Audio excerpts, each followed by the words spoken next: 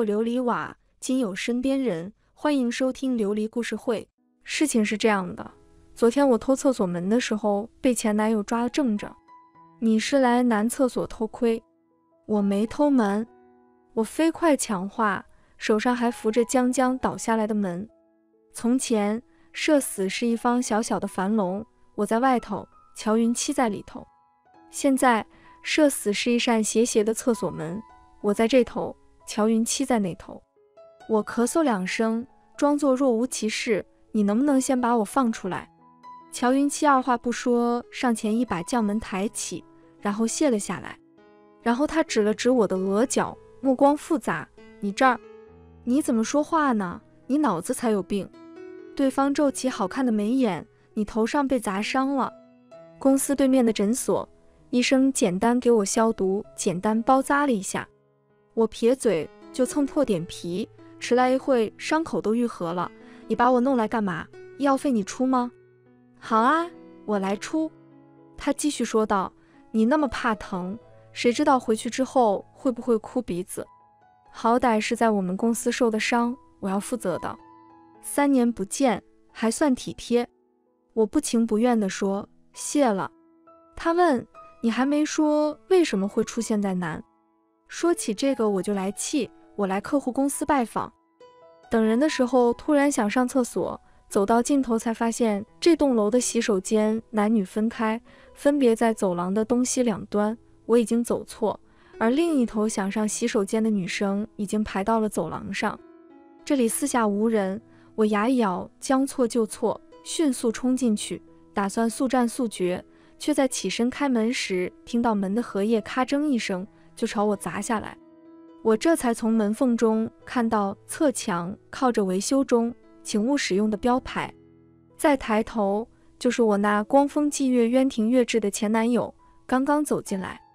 我跟他从诊所出来，这事能不能不告诉别人？他问：“怎么说？”太丢人了。他略显高深地说：“但是你得答应我一件事。刚见面就有事求我。”我好奇，什么事？他看着我笑起来，眉梢似掠过一缕春风。明天你就知道了。这次出差，一是拜访客户，二是过两天市里有个招商大会，两个公司都会参加。于是我跟领导提前来客户公司拜访，希望到时候能一起出席，蹭蹭大佬公司的曝光度。本来是等听完招商会，客户公司才会出人跟我们谈项目。没想到今天下午，领导就通知说，让我们都好好收拾下自己，晚上跟客户出去吃饭。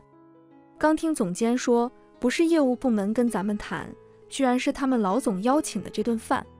早知道就把我新买那条裙子穿来了。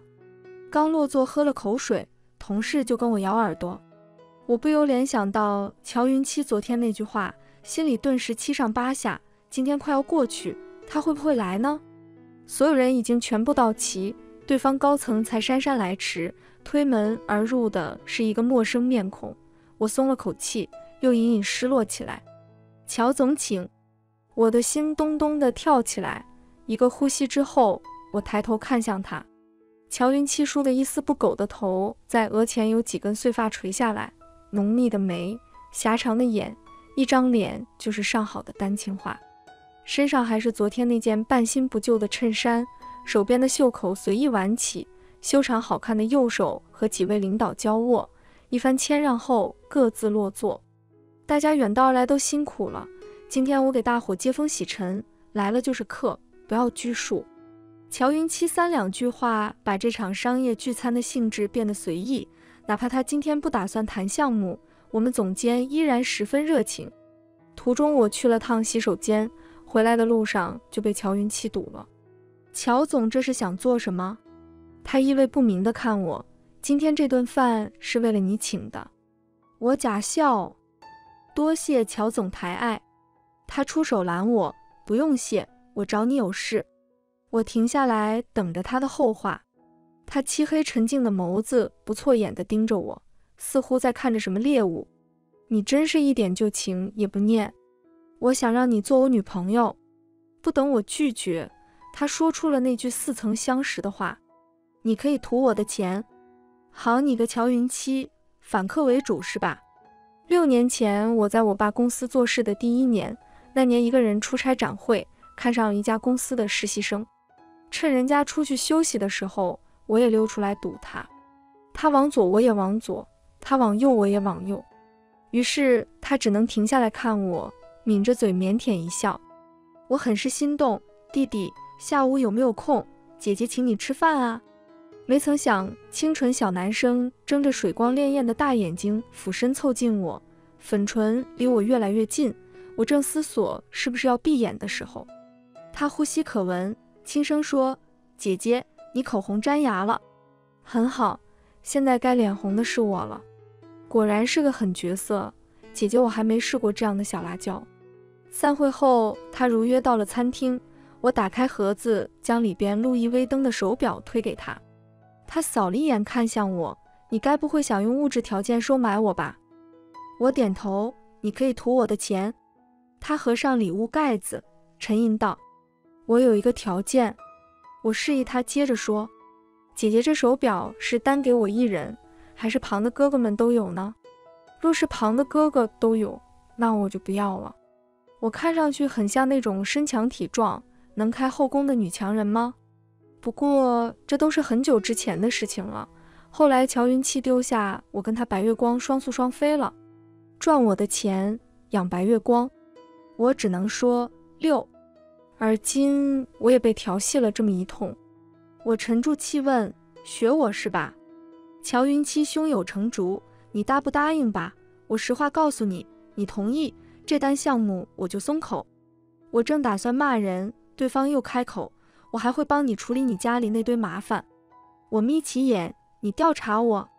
他轻笑，有什么好调查的？你爸为了私生子赶亲生女儿出门的事，整个华南地区的龙头企业哪个不知道？两年前，我妈查出我爸有个私生子养在国外。等我去年知道的时候，我爸已经把私生子接回家了。我怎么劝我妈都不离婚，她还让我不要因为他的关系就疏远了我爸。我试过了，但做不到。跟我爸大吵一架后，我自己出来打工。谁能想到，当年的无权无势的穷实习生，居然是我都要拉拢的集团总裁呢？他可是瞒得我一丝不漏。更何况，横亘在我们俩之间的，还不止他隐瞒身份这一条。我问你，那个初恋白月光呢？当初不是离开我，跟他破镜重圆了吗？乔云七语气坚决地纠正我：“哪来的破镜重圆？我跟他早就没什么关系了。”他似乎因为我的质疑有些愠怒，扭过脸去不看我。我说：“我答应你，但是有一条，你得给我开工资，而且不能比我之前给你的低。”开玩笑，他想报复我，那也得把我的钱还给我。他做事狠狠地抬起手指，轻轻刮了下我的鼻子，轻快地说。成交，两家公司的合约签订后，乔云七这边就需要我们公司派遣一个项目管理过来。乔云七一番操作，这个活派到了我头上。因为我们俩住一起，在公司又是同进同出，没必要隐瞒我们之间的关系，也根本瞒不住。大家私底下也会调侃，江念的男朋友该不会是咱们老板吧？你这次外派来我们公司，是不是总裁吩咐的？我通常回之一笑，然后岔开话题，但也有背后说坏话的。就算他跟总裁有什么关系，你觉得乔总会认真？江就他那样暴发户一个，肯定不是什么正经人。到后来议论的越来越放肆，简直不避着我了。再沉默显得我也太好欺负了。我悄声到他们身后说：“我是啥人？跟我说说呀。”于是大家立刻作鸟兽散，假装在忙手上工作了。我也没非要刨根问底的跟人家去理论，因为毕竟我跟乔云七的关系确实没有那么纯粹。项目方案提审之后，乔云七突然说要请整个项目组吃饭。饭桌上，我埋头喝水，乔云七突然唤我：“江念，你离得那么远做什么？过来坐我旁边。”这是打算破罐破摔了？我刚落座，就又被他拉起来。乔云七自顾自地冲大家发言：“这个项目不是我跟的，这么久以来疏忽了对大家工作的支持，我先自罚一杯。他这一自罚，吓得同事们纷纷站起来，举着酒杯替他开脱。当然了，还有一件事，他看着我们公司的技术支持说，也是为了谢谢你们对江念的照顾。说起来还多亏了你们公司的项目，我追江念好几年了，这次总算追到手了。他一番话说完，之前低头做鸵鸟状的同事纷纷过来敬酒，恭喜我们俩，恭喜恭喜呀！念念。以前多有得罪你，别放在心上啊。对对，这杯酒当我赔罪。大家太过热情，以致我不得不回敬。谢谢大家太客气了，过去的就不提了，后续工作还请多多指导。不妨酒杯被夺走，乔云七悄悄冲我眨一下眼睛说：“你们别灌他酒，他喝醉了撒酒疯可不好惹。”场面整得像结婚一样，喝到最后。还得我开车带他回去，他乖巧地靠在副驾驶上，脸颊泛红，眼神却更加潋滟地看我。我知道他今天这出是为了堵住公司的风言风语，但我还是想听他亲口说，干嘛这么大张旗鼓地为我证明？他喝了酒，原本清朗的嗓音带了些许甜腻，撒娇一般对我说：“哪里需要证明？你本来就是我女朋友啊！”我心里一动。危机感骤起，他不会是不想给钱了吧？他突然坐起身，讨好的笑着问：“还生气呢？我那不是嘴硬，想让你多哄哄我吗？”他撩人的尾音拉长，我低头极快道：“今天谢谢你，这就完了？那你想怎么样？”我抬头，却突然迎上他的一个吻。他拖住我的后脑勺，唇齿间皆是酒香，我似乎也醉了。半晌，他放开我说：“这样答谢才够吗？”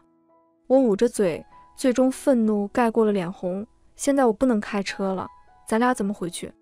那天回去时他叫了代驾，所以两个月后项目完工庆功宴上，酒还没上来，我就叮嘱他：“今天你别喝。”他答应的爽快，遵命。然后在开席五分钟后说：“这顿饭已经付过钱了。”拉着我就往外走。上车，他替我系好了安全带，才说有家游乐场今天开业，带你去玩。到了地方，他又不停地买街边小吃投喂我。我等在路边，下一瞬，他从人群中出来，手上却捏着两张摩天轮的票。他不好意思地说：“等久了吧？周末晚上来玩的人太多了。”我迟疑着接过他手中的票，他之前可是怎么都不愿意陪我玩的。我问。你不是怕高吗？社会在发展，人类在进步，我也进步了呀。半小时后，某人在半空中紧张的紧闭双眼，脸色发白。我朝他伸出手说：“握着我的手，如果不敢看底下，就看着我吧。”他确实是怕的，哼哼唧唧地攥住我的手。谢谢念念，你真是太好了。好不容易下来之后，我扶着他坐下休息。你说说你图啥？他一副精神未定的样子，开口还是要撑着那口气。一百件事，差最后一件，总要完成了才圆满。我愣了一下，才想起他说的是四年前我闲来无事在网上看到的情侣必做的一百件事，其余九十九件我已然忘了，只他没有做的这一件，我还有点印象。难以想象一个一米八五的猛男。当时躲在我身后，小心翼翼地请求：“我怕高，好念念，能不能不去了？”没想到他现在还放在心上。我尴尬地捋了捋头发：“你还记得呀？”手腕上突然一凉，抬起来看时，多了一条银色的星星手链。乔云七这才开口：“一起坐摩天轮看星星，只是没能陪你一起看星星，这个补偿你。我三年前就买了，不是新款。”别嫌弃，七彩霓虹灯闪烁之下，他的脸半明半暗，那双眼里是呼之欲出的温柔和积年已久的爱意，倒映出一个呆愣的我。周围情侣的欢笑声，小孩子的哭闹声，霎时间都离我好远。三年后再见，我第一次这样仔细的看他，我只看得到他。他揉了揉我发酸的眼眶，怎么哭了？我没有回答，凑过去在他唇上落下一吻。这样才算圆满。我这个人其实不太喜欢过问别人的情史，也可能我之前的那些男朋友，我从未放在心上，因为不在乎，所以不过问。但唯一一次为乔云七破了例，那次偶遇他大学室友，我请他们几个吃饭，其中有个舍友酒后说漏嘴，说乔云七之前有初恋，就那一个初恋，再没别人了。这句秒补的话，除了表示乔云七当时感情干净，对我没有异心之外，也证明了他对初恋白月光的情谊。乔云七不悦地说：“早分了，人都去国外了，老提就是干什么？”我那时或许还对他不是很上心，所以没有在意。只是没想到两年后，他白月光刚回国，他就跟我短信分手了。那天他去洗澡，我才无意间看到有人给他发微信说。我后悔了，你报复我也不用这么糟蹋自己吧？我们可以重新开始。我一直在等他给我一个解释，等来的却是他两天后的不告而别。那天我醒来人都走了，手机消息说他家里有事要回去一趟，这段时间可能没法陪我了，等忙完这段再联系。真能编，是他家里的白月光有事吧？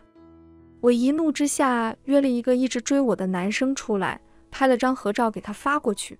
我也不是非你不可，自此正式分手。其实当年乔云七跟我在一起的时候，处处以我为先，并不敢给我委屈受，更不可能为了他远在国外的白月光给我甩脸子。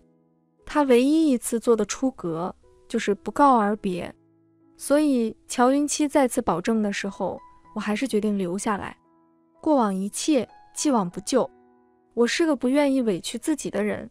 既然他这么主动示好，我又喜欢他这张脸，喜欢他对我好的感觉，那么跟他玩玩也不是不行。只是如今想要我当年的赤子之心是不能够了。在乔云七的要求下，我离开了原来的公司，在本市找了一份工作。因为本职工作过于清闲，我又去一家西餐厅应聘了钢琴师。每周末晚上弹两个小时，你周末一定要去做兼职吗？我反驳，那你周末一定要加班吗？今天一曲毕乔云七打电话给我，我错了，我等会十点过去接你。我嗯嗯两声，他还在讨价还价，那下次我加班你能不能来接我？这时候有服务生找我，我应付道，接你接你，下次一定。服务生说。那边有客人送你甜点，你弹完这一首再过去吧。这家店是本市内有名的高档西餐厅，那人送的还是刚出的当季新品，送这么贵的东西，显然是有话要跟我说。快到下班点，我过去落座，抬眼一看，还是个熟人，我那私生子弟弟的好友。他把刚上的咖啡推过来，我第一次来这儿出差，没想到还能碰见你。钢琴弹得不错。江叔叔这么多年的钱没白掏，我没接茬。他接着说：“只是可惜，你的卡被叔叔冻结了吧？沦落到这种地方来打工，啧啧。”我不为所动，你管得着吗？靠自己手艺吃饭怎么了？你要是不服，你也谈去。对方气结，你也不过是一个离开父母就生活潦倒的蛀虫，有什么资格说我？还搅黄我们家和你爸的合作？我不耐烦听你到底想说什么？你爸下个月要给江旭办生日会，业界大佬都会来，他想让你这个姐姐回去呢，就是不知道你现在还进不进得了门。江旭就是我爸那私生子，面前这人此前借着江旭的关系跟我爸谈合作，我调查了他家公司的资质和项目条件，根本不合适，我捅到了股东大会上，这是本来是我爸私底下许诺的。可惜有些事放在明面上就做不成了。今天这出，一是泄私愤，二是给江旭做脸。毕竟我爸想给私生子证明呢。他细写道：“要是你爸那边你回不去的话，我这里可以，不劳你费心。”话音刚落，突然见背后的座位上，乔云七站起身过来：“我女朋友的事，我自会帮她处理。多谢你提醒，我们一定过去。”乔云七这身打扮，即便在上流圈子，也是一眼就能看出的昂贵。江旭这位好友说：“这是傍上金主了，只是这金主也不怎么样啊，还让你晚上出来打工。”乔云七搂着我说：“你误会了，他没傍上我，是我赖上他了。还有你刚才的话已经录音了，人身攻击钢琴师，打扰其他客人用餐。你要是再不走的话，相信老板会很乐意请你出去。请字特意咬得重，对面狠狠瞪了我一眼，走了。你还真要跟我回去呀？乔云七对着镜子将一串蓝宝石项链戴到我脖子上，我也想会会你那个弟弟，看看什么人能把你这种小霸王都逼出家门。我说要去的是我的地盘，识时务者为俊杰，你说话小心些哦。话音刚落，俊杰立马殷勤替我捏肩，小的错了，小的遵命。生日会那天，我是以乔云七的女伴身份入场的。毕竟他们家的名头在名流圈很吃得开，不用白不用。吉之落了座，远远看到江旭身边还有一个女伴。俗话说无巧不成书，万万没想到江旭的这位女伴就是乔云七那个白月光。主要这女人见到他的表情这一点都不掩饰，是个人都能看出他俩有事。更何况我还从乔云七舍友那里见到过他白月光的照片。当时就觉得眼熟，总觉得在哪见过，这都什么孽缘？江旭首先开口：“姐姐，这是我的女伴林初月。”我下意识伸出手和她握住，却一个没忍住笑了出来。初月，原来白月光的名字也是白月光的意思，他父母太有先见之明了。我笑着说：“你好，你的名字真好听。”乔云七捏了捏我的手，我忙想起来介绍。乔云七，我男朋友林初月跟他握手的时候，愣神了好一阵，还是乔云七奋力抽回手的。他笑道：“不好意思，刚才失态了，主要是你的男伴和我前男友有些像。”怎么就成男伴了？很难不怀疑他是报复刚才我的笑。我问：“是吗？”展开说说，品味都是一样的。林初月佯装尴尬的笑了笑。你的裙子没看错的话，应该是去年迪奥的款了，而且袖子这里是没有褶皱设计的。你该不会是买到盗版了吧？我顿时无语。这次轮乔云七笑了出来。林小姐，见到你我才知道，其实无知也是一种幸运。说这种话不觉得难堪，我都替你脸红。林初月听懂了，暗示他不懂大牌，一张脸清清白白。想开口，最终咽了回去。我爸这时候介绍完了公司的情况和感谢大家前来，在台上召唤江旭。江旭，我的小儿子，小时候不慎走丢，最近才认回来。知道我想进军珠宝界，上个月他亲自去谈下了公司跟斐丽的中国区总代理。底下的道喜生此起彼伏，江旭人模狗样的谦虚道。我为父亲做的还是太少了，以后会继续努力，还请各位前辈多多关照。我爸这次为了让他儿子荣耀回归下了血本，现场还有多家知名媒体。摄像头再次对准江旭的时候，他开始演了。其实我今天生日有一个愿望，就是希望姐姐能回家。你一个人在外边，父亲很担心，我们之间是有些误会，但我想一家人没什么矛盾是解不开的。希望姐姐能给我这个机会，好一出父慈子孝、和谐家庭的大戏呀！我要是不答应，岂不是不顾老父亲的担忧，破坏姐弟和睦？为了江旭的美好形象，至于吗？我也是他女儿啊！两个呼吸间，台下已经有记者提问，然后把话筒递给我。江小姐，据说您两年前离开家，是因为江总接回了您弟弟，是吗？这是挖了多少坑让我跳呢？我没有直接回答。古语说“子不言父过”，这件事您更应该问我父亲。更何况我母亲两年前就已经和父亲分居，其中缘由不必我多说了吧？如果我今天发言有偏向谁，那岂不是让我父母伤心？记者还想再问，却被另一家媒体挤了下去。江小姐，你佩戴的这串蓝宝石似乎是斐丽设计师夏季新品，之前有消息称小江总也借过。但是没有借到，您能讲讲是怎么拿到这套珠宝的吗？这次生日会前，我爸就放出消息，他的公司即将和著名的珠宝设计品牌斐丽有合作，本意是为江旭铺路。可惜他太过心急的暴露自己的意图，这条项链就是为他和江旭准备的。我说，具体可以问问我男朋友。乔云七从善如流地接过话筒，其实也没什么，我与设计师早年有过一点交情。他唯一要求的就是项链必须和他亲手改过的这套礼服一起出场。这下明天所有业内人士都会知道江旭没实力了。我爸煞费苦心的搭台，倒是给我行了方便。江念，你可以呀。这次合作哪里是江旭，明明是江叔叔亲自出马。江旭连个项目都没谈成，你居然搞到了叔叔都借不到的项链。发小在人群中找到了我，调侃完又看着乔云七问：“这位是？”乔云七抢白道。我是江念的男朋友，以后碰到江念的其他朋友，可要替我多多宣传。他身边的人还都不认识我呢。发小拉着我到一旁：“你那个小金丝雀呢？放下了？这就开始新恋情了？”发小之前虽然没见过乔云七，但是听我提起过。我说：“就是他呀，你也没想到吧？藏得够深的。”他碰了碰我的胳膊：“这男人必拿下。”气死你们家那个私生子！在家乡待了三天，我问乔云七：“咱们什么时候回去？”明天还有个晚宴呢，去了再回。我什么晚宴？这次跟你回来，刚好这边有个客户，他明天在游轮上办了个宴会，好吗？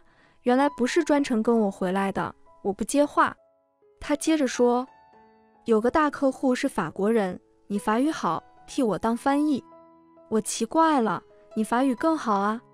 他过来轻轻捏了捏我的脸，说：“这么大场合，我想炫耀一下自己优秀的女朋友，不行吗？”论起来，她可是辅修法语专业的。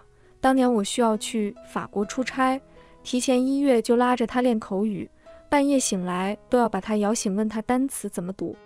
有天晚上他火了：“你跟我在一起根本不是图我，而是想省培训费。”我忙抱住他的脖子，狠狠亲了他一口，大灰狼才变身乖乖狗。我弥补道：“怎么会只是为了培训费？我还是贪图你的美色的。”他明亮的双目像狼一样盯着我，点了点自己的嘴唇，说：“还要。”但是因为公司另有其他安排，那趟法国就没去成。现如今我的法语纯纯半吊子，不过幸好到了船上也不需要我翻译。人客户自己带了。乔云七跟客户介绍完，我就放我去吃东西了。一小时后，他过来找我：“你怎么了？脸色这么苍白？”他凑近我问：“你还喝酒了？”我说：“我可能是晕船。”你不是会开游艇吗？我们家是有几艘游艇，我以前还吹嘘过要开游艇带他出海，让他体验一把小娇夫的感觉。我争辩。你让我开就没事，我坐船就晕。乔云七让服务生看着我，他过去跟客户说了些什么。十分钟后，他带我下来了。我在车上忍了一路，最终还是在刚进酒店门吐到了乔云七身上。今天累得他割了客户送我回来，还弄脏了他的衣服，他居然没生气，也没有半点不耐烦，一边抱着我回房间，一边无奈道：“你逞什么能？晕船还喝酒？”这游轮也不知道是不是外国人的，连个热水也没有。在冰水和酒之间，我当然选择后者，冰水多伤身。但我昏昏沉沉的解释不出口。不知道怎么的，我突然想起前几天林初月在宴会上端着酒杯的样子，几次想找乔云七说话，都被他岔开了。于是我一张嘴就是：“你跟白月光到底怎么回事啊？你说实话，是不是喜欢他？”否则干嘛那么害怕见他？他替我擦脸，解释道：“怕你不开心啊。那种人算什么白月光？我不想因为无关紧要的人影响我们的关系。”我揪住他的衣领，不依不饶：“真的假的？真的。你乖，我让酒店送醒酒汤来，你喝了再睡。我已经倒下了。”他的嘴还在一张一合的说着什么，我早已听不清了，不晓得醒酒汤喝没喝。似乎过了很久，我半梦半醒之间听到他说：“睡着了还做噩梦，真不知道怎么样才能让你安心。”我在他怀里拱了拱，感觉到他轻轻搂过我，拍着我的后背，絮絮叨叨地说些什么。我就又睡着了。出来工作后，我妈每个月都给我打钱，虽然我跟她闹别扭，从来没用过，但是私心里我肯定是仗我妈的。这次回来之后，我就跟我妈恢复了联系。这天，乔云七回家，突然递给我厚厚一叠资料。他坐在我身边，指着上面的数据说：“这是你爸手底下各个公司的资料，项目漏洞资料。”他补充道。我简单翻阅了一下，你这是做什么？凭这个，我们可以说服你妈妈离婚，资产分明后就可以起诉你爸的灰色产业，离婚加判决赔偿，就算不能吃掉那些公司。也能让你爸和那个江旭大受冲击。我抬头看他，他语调严谨，神色严肃。我突然有一瞬间觉得自己从未看透他。三年前的乖顺金丝雀，重逢后的体贴好男友，此刻似乎我才看懂了他那么一点点。他已经强大到我难以想象的地步。他是集团掌权人，时刻把握着成千上万人的命脉。而现在，他正一心一意地帮我料理麻烦。我以为他说的帮忙处理家事，做到生日会那样就算到头了。没想到他居然能替我铲除后患。我有那么好吗？我真的值得他这样做吗？如果值得，当初又为什么离开？我问他：“你为什么帮我？”他揽住我的肩，我下意识靠在他头上。他执拗地保证：“这有什么不懂的？你是我女朋友。”你的事就是我的事，谁让你不开心，我就让他们也不开心。我轻声发问：“是真心的吗？”他扣住我的手指，交叉握紧，是真心的，十分的真心。我和乔云七一起回去见了我妈，我花了大半年都没说动我妈离婚，她只用了一个下午就办到了。临走前，我妈还拉住我说：“妈的眼光没错，小乔是个有心的，他是有心。”只是这有心到底是为了我，还是为了别人就难说了。我长久以来的疑惑，我一直以来惧怕的事情，终于还是发生了。乔云七和林初月再次旧情复燃。那是在起诉我爸公司的案子开庭的第二周，我妈的离婚手续办得很快，两人本来就已经分居两年。我也是这时候才知道，我妈私底下也对公司资产做了些变动。才能最终为自己争取到这么多。我爸这两年使的劲也不小，本来是有一点小纠纷，我爸也大度的让给了我妈。他着急接真爱回家，可不得快些。那天我正忙着准备庭审的资料，有个陌生微信加上我，甩了一张截图，是乔云契约林初月见面的聊天记录，想也知道是林初月发的。我心里的巨石这一刻终于狠狠落地。砸了我一个措手不及，但好在这件事终于要有了个了断。我去了他们约定见面的地方，在隔壁的露天餐厅点了杯喝的。林初月正笑意盈盈地冲对面说着什么，手舞足蹈的。我的视角看得到乔云七一小半侧脸和大半的背影。他还穿着我送他的灰色衬衫，那碗土在他身上。第二天他非要我陪着他逛街，挑一件新的。突然，他起身，似是要走。林初月拉住他的胳膊，站起来，朝他里侧我看不到的侧脸做出一个接吻的姿势。他没有避开，而后又坐了回去。午后的阳光斜斜地穿透玻璃窗，落在他们身上，微风正暖，岁月静好，似乎从很久以前，他们就是这样宁静而美好的一对，再也插不进其他人。我突然失去了进去对峙的勇气。或许我并不像自己认为的那样勇敢果决。当初乔云七跟我短信分手，现在我也如法炮制。我在微信上说：“你帮我究竟是因为我，还是因为林初月？或许你一开始就想差了，你骗我骗得自己都信了。因爱生恨，报复江旭抢回白月光的戏码，你演够了，我也看够了。上一次是你先走，这次轮到我了。我删掉他所有的联系方式。”在酒店睡了一周，这天迷迷糊糊的接起我爸的电话，什么事？我不认为我爸能有什么好话跟我说，果然他只说了一句：“小旭想见你。”然后发了定位过来。我这时才知道，江旭居然被拘留了。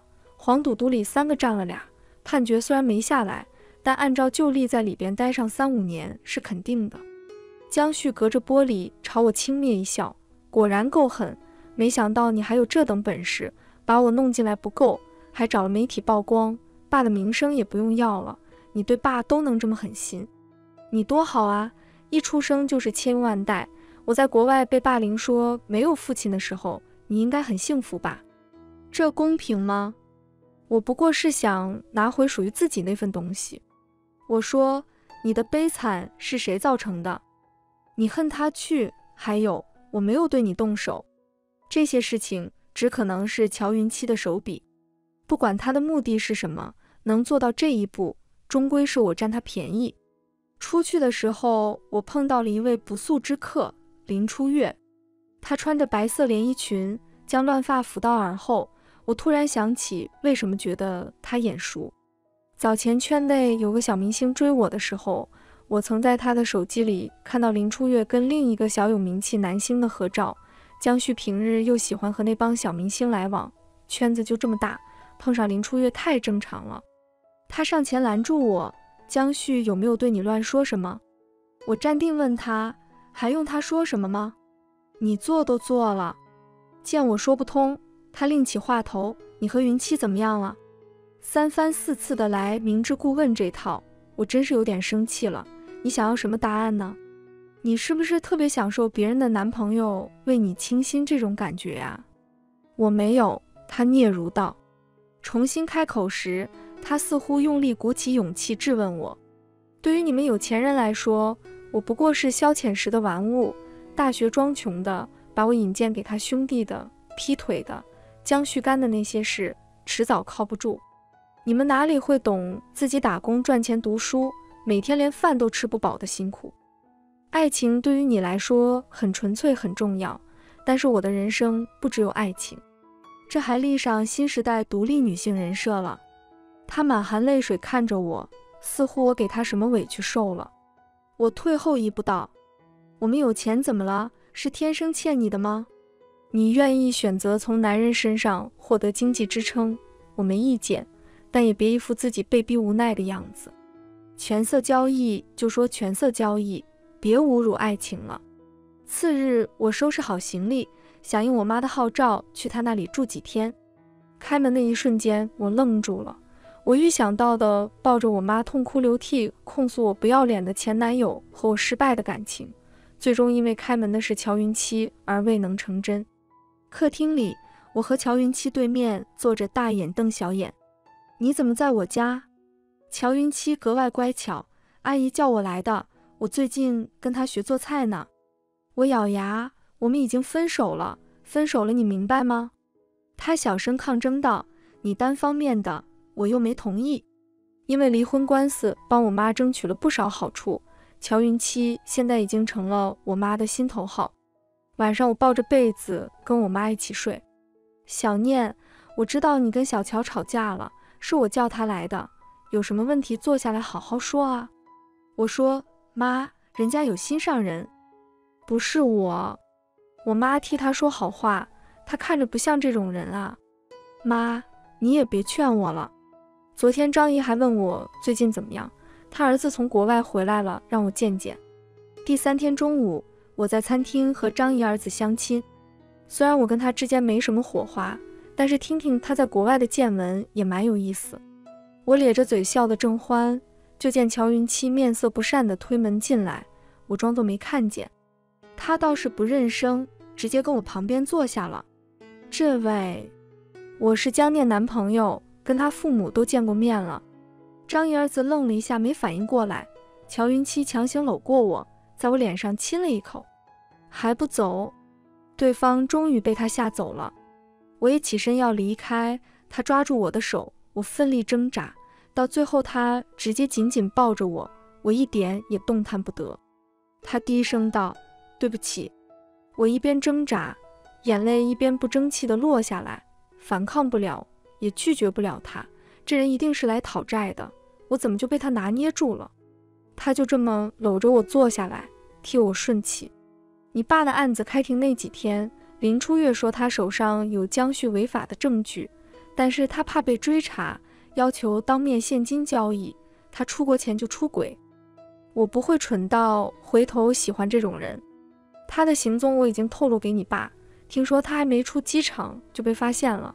相信江总不会放过害他儿子坐牢的人。我说：“你能不能放开我？”他执拗道：“那你不准再跑了。”他松开我，擦掉我眼角的泪水，说：“三年前我突然回家，是我爸病危，来不及回去跟你道别。我回家后才知道。”我的发小就是我大学室友，他大学毕业后就回家乡发展了。他早知道我爸身体不好，放出消息要我接手公司。我真没想到他还暗恋林初月，把我将要接手公司的消息透露给他了，所以他会回国给我发消息。就在他回来的几天后，我爸就突然病危了。我回去根本不是为了他，如果说我跟他还有什么交集，就是我跟他说清楚，离我远点，我有女朋友。我愤愤道：“你们家的情况为什么不告诉我？就我一个人不知道？我怕……”他轻轻抚摸着我的头发，我怕你知道了生气，我不敢告诉，一直拖到那么晚，对不起。后来是想回去处理好我爸和公司的事情再来找你，可是你已经搬走了。我吸了吸鼻子问：“那你是怪我喽？”我怪我自己。但是后来我听说业内有个老总为了私生子。把女儿赶出家门的消息，就多看了一眼。其实你们公司来谈项目，是我让秘书邀约的。我觉得我是幸运的，虽然我做错过，命运依然眷顾了我，让我再次碰到你。其实乔云七解释完，我就生不起气了。当年分开，我们都有责任。他没告知我家庭情况，其实我也没跟他坦白。但是我之前那么委屈，不管是不是他的问题。总归是因为他想让我松口原谅他，且早着呢。今天早上，我妈说要考核乔云七最近学习烹饪的成果，把我们俩赶去买菜了。快去，迟了就买不到新鲜的菜了。我睡眼惺忪的跟乔云七站在公交站等车，突然想到，你怎么没开车来呀？太着急了，没顾上。再说了，女朋友都要跟人家跑了。我还惦记什么车？阳光很好，我眯起眼看他，我还没原谅你呢。那你要怎样？那辆车，他指着公交车愣住了。就这两句话的功夫，我们等的那趟车刚走，我还没说话，乔云七积极举手认错，我的错。边上正好有共享单车，我说我们骑自行车过去吧。他十分为难且不好意思，我不会。我看了他一眼，平静地解锁了一辆单车，内心超大声嘲笑他。开口只有五个字：上车，我带你。幸好我家离菜市场就两站路，我到了才发现他两条长腿垂在地上，无论以什么姿势都不可能悬空。这一路他是脚下滑着过来的吗？我还是有些愧疚的。你的脚没事吧？他撒欢似的跑到我前面看着我，你哄哄就没事了。那还是算了。我长这么大，自己买菜的次数屈指可数。菜摊阿姨开价的时候，我为了不在她面前丢人去砍价，只有硬邦邦的一句：“可以便宜点吗？”乔云七拉着我就走，悄声问：“你不会砍价？”我说：“你行你来。”没想到他真行，但是我绝不会承认是他口才好，肯定是那些姐姐阿姨们看她长得好才给便宜的。阿姨称好了西红柿递过来，说：“现在的小夫妻不得了，小伙子也太会过日子了。”我脸上一热，争辩道：“我跟他不是。”谢谢姐姐，我们下次还来。那边乔云七已经麻利收好东西道谢了。早上起得太早，司机还没上班。回去的时候，我叫了家里的司机来接。等车的时候，乔云七把菜放在地上，踌躇半晌后说：“念念。”你有没有考虑过和我结婚？不等我回答，他紧接着说：“我天天买菜替你砍价。我，你连个自行车都不会骑，我可以学买菜、做菜、骑车。你喜欢什么，我都可以马上学。”他一字一句承诺的认真，说不心动是假的。我一直很为他心动，但我怎么会那么容易就松口？我说：“我追你用了三年呢，且熬着吧。”看我什么时候心情好了，他斩钉截铁的抢白，仿佛怕我下一秒就变卦，好，三年，我追你三年，但还是那个条件，你可不能有别人。车好像到了，我轻身看去，他拉着我的手指撒娇：“你考虑考虑我吗？贤惠又贴心，帮你省钱，还给你钱花。”我快走两步，打开车门，上车。司机下来帮忙拿菜，他小媳妇一般乖顺地坐进去，两只星星眼看着我，越发显得小娇夫了。他朝我凑近，我一个反手勾起他的下巴，嚣张道：“上我的车，就别想着下去了。”他在我唇上轻轻落下一吻，一言为定。